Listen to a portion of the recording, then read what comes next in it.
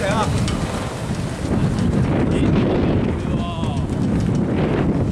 Ê mới lên trời sạch à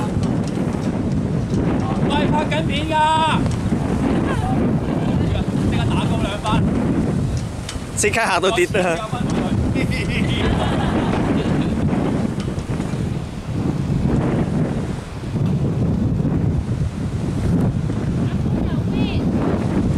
右邊。